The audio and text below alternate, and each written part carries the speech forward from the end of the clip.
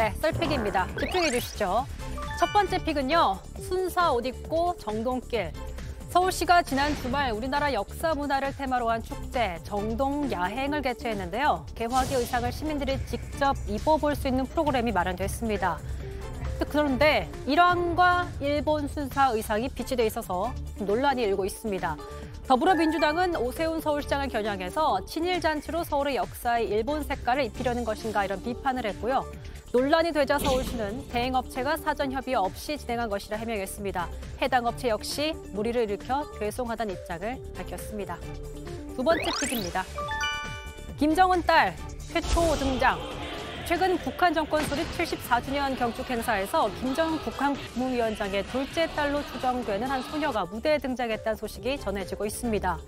영국 매체가 중국 내 북한 전문 블로거를 인용해 보도한 건데요. 지금 보고 계시는 이 소녀가 바로 김정은 위원장의 딸 김주애로 추정된다는 거죠. 일단 이설주 여사가 이 소녀에게 직접 다가가서 웃으며 등을 쓰다듬고 또 친근하게 대화를 하는 모습 보였고요. 또 이 소녀는 다른 아이들과 달리 유일하게 머리를 묶지 않고 또 혼자 흰색 양말을 신었다고 하네요. 북한 매체도 이 소녀를 계속해서 화면에 비췄고 김여정 부부장이 눈물을 훔친 듯한 모습도 이 소녀가 평범한 소녀는 아니란 추측에 힘을 더하고 있습니다. 한편 김정은 위원장의 둘째 딸 김주애는 올해 약 10살로 추정된다고 합니다. 자, 오늘도 돌아온 홍보 타임 강지영의 시그널, 강지영의 시그널입니다. 오늘은 세계를 위협하는 한 남자의 알 수 없는 속내에 대해서 다뤄보겠습니다. 썰러 토크 이어지니까요. 그때 뵙도록 하죠. 여러분이 픽한 오늘의 썰 무엇인가요? 예, 어, 정동길 일본 순사 옷, 이 얘기 잠깐 해볼까요? 혹시 뭐. 예, 뭐 부적절한 일이긴 하죠. 그 옷을 전시를 해서 뭐 한 명 정도가 입었다고 뭐 보도가 나왔는데 예.